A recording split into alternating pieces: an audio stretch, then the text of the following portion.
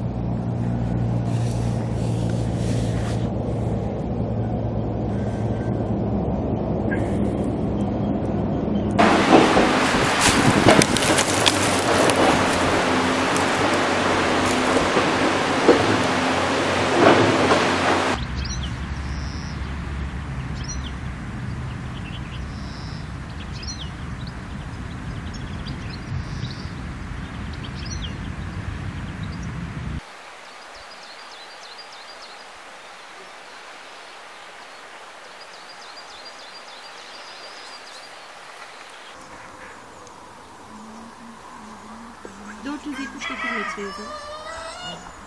Takıldım ben de buna. Neyse 740 796. Eğer baştaki Toprağa aynıysa Ama buna göre biraz daha aynı şey. aileden geliyorlar. Yakın akrabalar demek. Tamam mı? Aynı Vallahi mükemmel. Bazı farklılıklar olmakla birlikte bizim bitki türümüz şu arkadaşlar.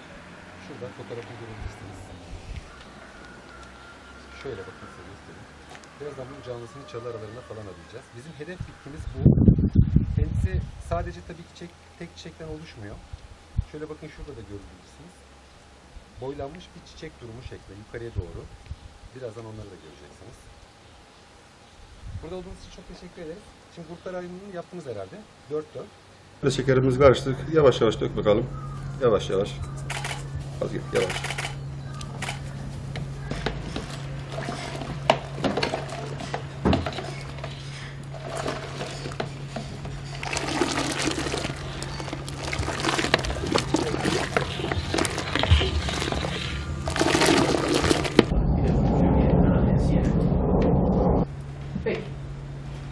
Hür irade. Teşekkür ediyorum dinlediğiniz için.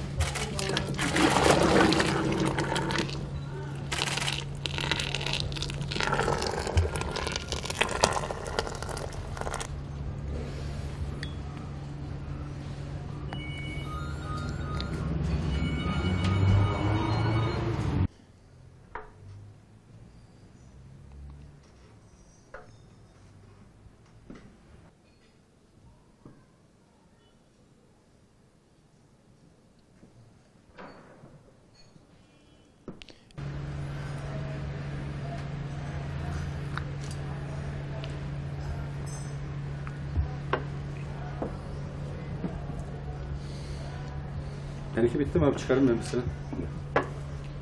E, Ülkemiz e, toprakta yetişen karasal orkide türleri yönünden çok zengin.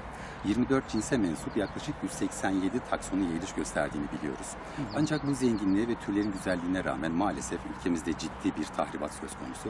Çünkü karasal orkideler toprak altındaki yumruları sökülerek salep ham maddesi eldesinde kullanılıyor. Dolayısıyla çok ciddi bir yıkım söz konusu.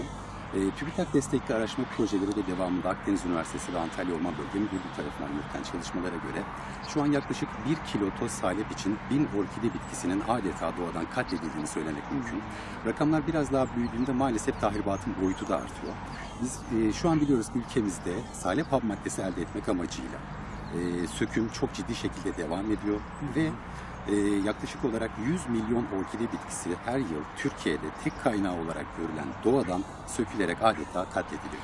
Yasal olarak mevzuat çerçevesinde ilgili yasal düzenlemeler var fakat e, Türkiye'de uygulanması konusunda bazı sıkıntılar yaşanıyor. Çünkü ormanlık alanlardan salep maddesi amaçlı orkide yumrusu sökmesi yasak. Fakat kişiye ait herhangi bir şahıs arazide benzeri bir yerde bulduğu sürece bu söküm devam edebiliyor. Türkiye'de yumru olarak yurt dışına satış e, yasak fakat e, gerek e, elde edilen yumruların toz haline getirilmesi gerekse gıda endüstrisinde kullanılan ham madde olarak şu an Türkiye'de yoğun şekilde kullanılıyor.